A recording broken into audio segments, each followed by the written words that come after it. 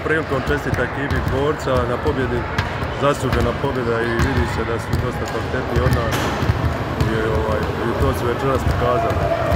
Mi smo malo, ovaj, imali smo dosta ozljeda, evo nije nam došao ni kapetan Leko, tu smo imali jedan hendikep su doli pod košom, jer su nas dosta stvarali problema doli ispod koša.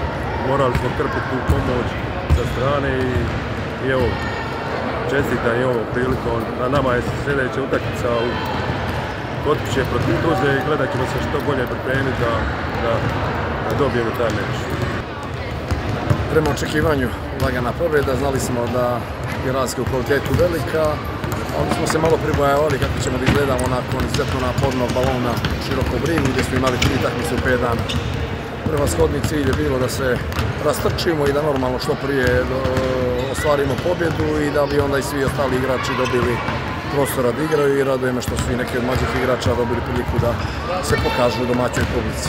Nastavljamo dalje, pripremamo se već sljedećeg vikenda, idemo u Bijeljin, igramo zahtjevnu utakmicu protiv budućnosti i onda se polako već približava i ABA turnir, e, završnica ABA 2 lige gdje vjerujem da ćemo ovaj, iskoristiti ove utakmice što je bolje moguće se pripremimo i da tamo budemo u dobrom stanju.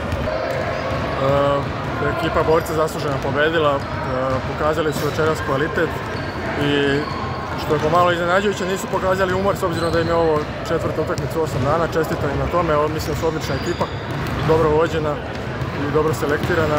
Mi smo u nekoj specifičnoj fazi, imamo dva nova igrača, još se privikavamo, Vujošević i ja zajedno da igramo, ovo nam je tek druga utakmica sa ekipom, tako da nismo ni kompletni, tako da mislim da ćemo ovo kola što je ostalo do kraja, da ćemo se uigrati što bolje i da ćemo završiti sezonu u jednom dobrom ritmu.